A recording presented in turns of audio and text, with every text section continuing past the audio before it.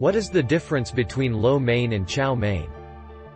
The main difference between chow mein and lo mein is that different methods are used to make these stir-fry noodles. Both chow mein and lo mein use wheat flour egg noodles. More authentic chow mein noodles are fried to crispness, while lo mein noodles are boiled to softness.